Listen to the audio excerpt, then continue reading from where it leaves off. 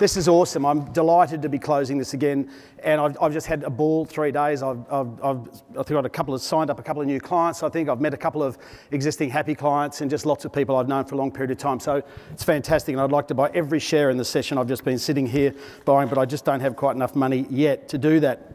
Um, when we work with our clients on our hedging side and risk management side of the business, the main slide, or the, if, if they got this slide, the title always says the questions remain the same, it's the answers that keep on changing. Um, I like to say to people, particularly when people are looking at gold price, the most dangerous person in the room, in any room, is the person who believes with absolute certainty they know what, is, what the future holds. 100%. Have you noticed that? The kids all say that now. It's just this new expression that comes in. We've got to agree with everything. You say something, someone goes, 100%. And nothing is 100%, and particularly when you're looking forward to commodities, not 100%. But in the long run, we can probably be very faithful that politicians won't change. They'll keep printing money, and the value of hard assets will go up. But how the, how the path it gets there, I don't know.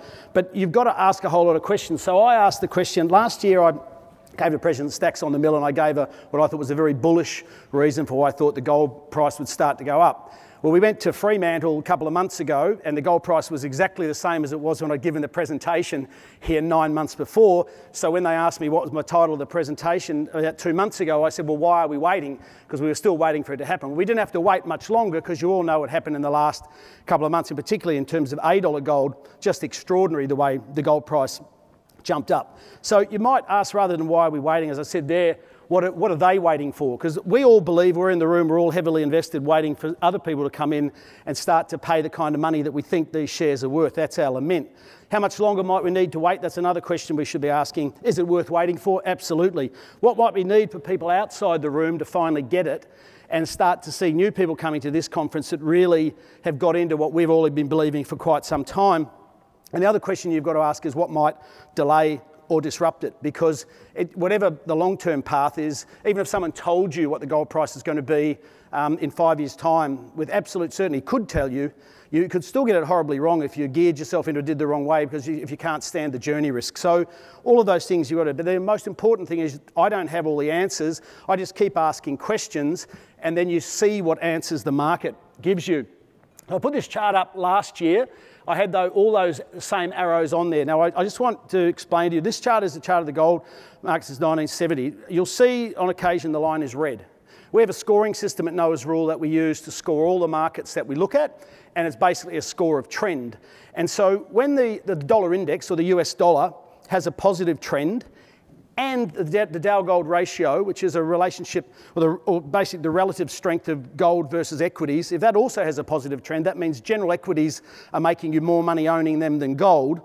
If both of those things are happening, the line gets painted red.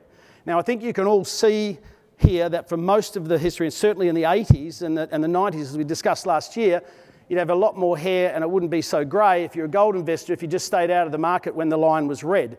Now, we didn't back test this or anything. We just asked the simple question of our, of our chart guru, and a guy does all this back in the office. Will, just, just paint that line red, Will, whenever the score for the US dollar is positive and, the, and, and stocks are outperforming gold. Now, when that big blue section, uh, the, big, the big rally here, this fantastic rally, happened, you can see there was one tiny little bit of red, but otherwise it was always, always there. Now, for most of this time, the, the, the, US dollar was actually in ascendancy. Gold can outperform a rising dollar as long as it's outperforming equities, right? So, but the, the thing here is I pointed to the, when you have a significant high and then you break it, the kind of moves you can have, and then how these highs dominate. And when we then broke that high, what happened, and then we made another significant high. I'm talking a significant high as one that sort of is a new all-time high that holds for one or two years, and then we had that one. Now, when we were here last year, I said, right, we're getting ready to break. Well, we have now broken. So you know, obviously the, the, the, paper ends there, the gold market does not end there. Um, this is log scale, so if you look at the kind of move we've had, this percentage move overall is still quite relatively small relative to what we had back there. And if people go, well, that's not really relevant because that's a long time ago, other people put up charts of how many more dollars there are in the world today than ounces of gold. You know, if you could actually see a pile of all the money that is out there in the world, you, would be holding on to your gold quite tightly before you'd hand it over, even at today's price. So, so that's the kind of setup. It looks pretty good. The other thing I would point out that this is the, I'm not trying to turn you into ch- uh, chart, I'm not trying to, trying to be too technical, but this is the, the very long term 200 week moving average. And one thing I would say is between the last last time that we were here meeting together, the gold market actually did fall down and touch that average. So I, I believe that when it gets that average, it kind of refreshes it, right? So gold's not extended because it's actually been at its four year average within the last 12 months. So people say it's expensive. I just don't, expensive compared to what is the question that you would have to ask. So certainly from that perspective, you know, gold looks very good. The story looks very good.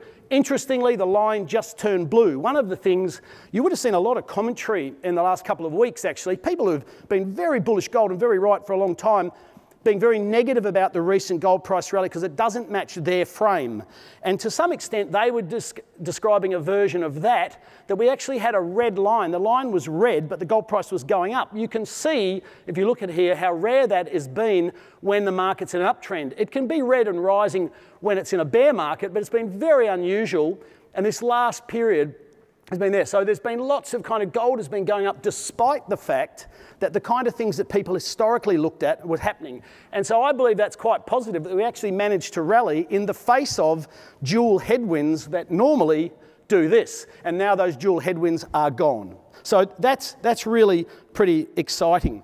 Now, I believe, and Pierre Lassonde talks about this, so if you don't believe me, you can believe him because he's a lot smarter and a hell of a lot richer than I am.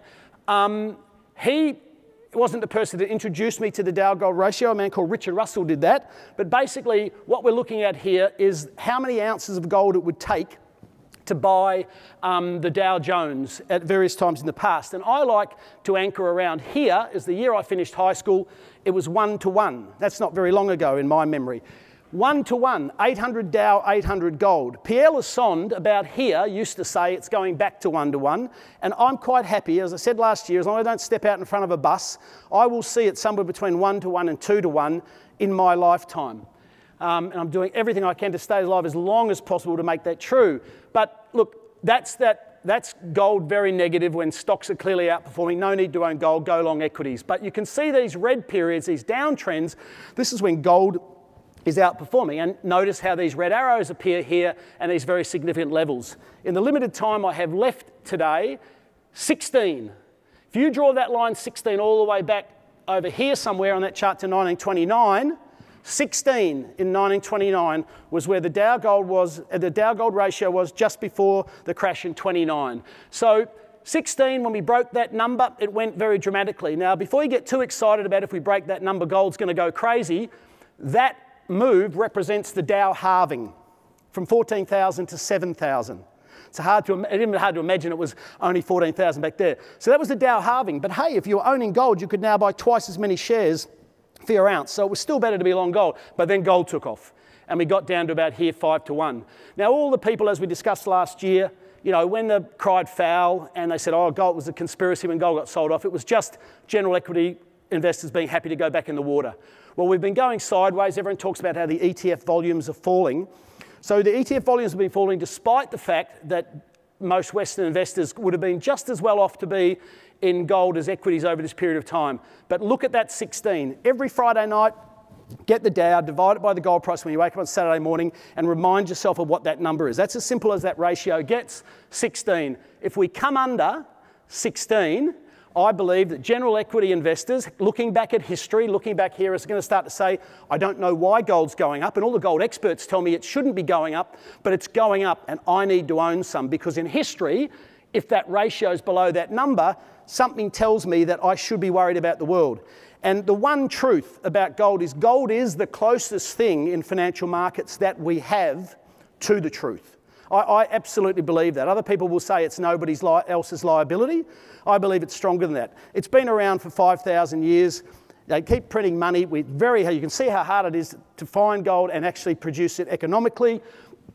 It's the source of truth measure every market against gold. I do it for the Dow, you can do it for oil. At the moment, oil's ridiculously cheap relative to gold. Um, so, you know, all commodities look good. And I know I'm going into negative times and I don't eat chocolate. Well, Chrissy's left, so that's good. We'll just go. I actually, does anyone understand the whole system, how Chrissy moving closer to you is supposed to make you finish? I, I, I, that doesn't work for me. But anyway, um, the, so very quickly, very quickly, given that no one's trying to drag me off the stage, the GSCI versus the S&P 500, I've just switched from the Dow to the S&P, but it's the same thing. This is the Goldman Sachs Commodity Index. I put this up last year. This is commodities being undervalued, hard assets being undervalued relative to general equities. That just generally means that people buying most um, AI stocks and other things are probably overpaying relative to real things. Remember how bad it was in the 90s. Even if commodities double in value relative to general equities in the next couple of years, we're still going to be cheaper than we were when they were stupidly cheap in the late 90s.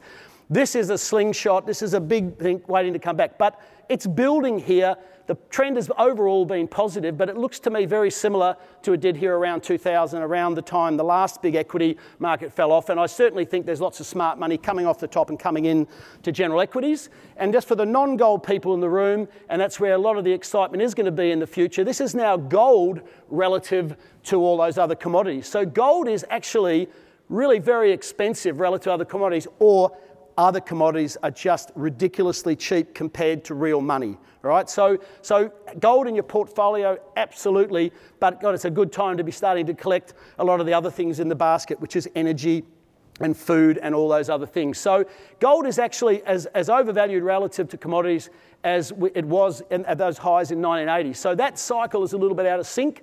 But overall, this just says to me if you've got to make a choice of where you put your money, well, firstly, you take your cash, you buy gold.